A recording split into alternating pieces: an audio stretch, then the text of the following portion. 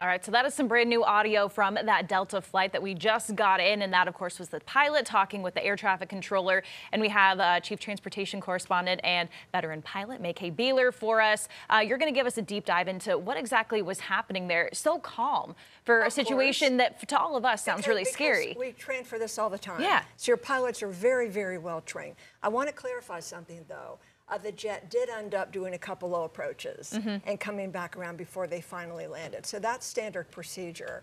We have checklists, we have standard operating procedures. We don't do things just by memory or guess. There are checklists uh, that we go by. So they did everything they could, and Delta, some of the uh, most highly trained pilots in the world.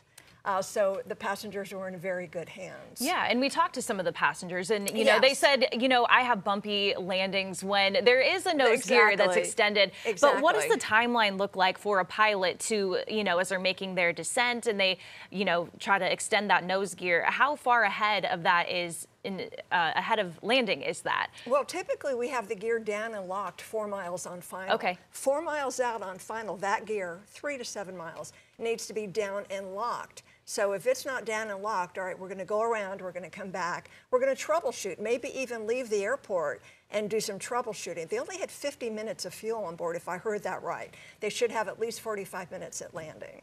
So maybe that was a problem too, that, well, they couldn't get it down, so let's go on and land now. And what Yeah. exactly do you do to make sure that that landing goes as safely as possible Right. without that gear? So we're trained for that. First of all, they do have indications in the cockpit, lights, audio that's telling you the gear is not down and locked. So they know that. Uh, now we know the nose gear isn't going to come down. So what we're going to do is we're going to come in, we're going to land as smoothly as possible, touch down on those main wheels, bleed off airspeed, and let that nose come down as gently as possible. Okay. So the nose gear malfunctioning is really the best case scenario, as opposed to one of the two main gears. Okay. They did a great job. Yeah, and so you kind of tip back on, you rely on those back wheels, right? Yes. And then just kind of let gravity do its work. Right, touch down on those main wheels, slow down, slow down, slow down, the nose comes down gently. Okay. There you go. It's you make it sound so easy, but we know it is not an easy feat. A lot of skill and a lot of practice. for those pilots. A lot of training. A lot of skills there. So, uh, and we're appreciative to those pilots, and of course you for uh, your insight into this.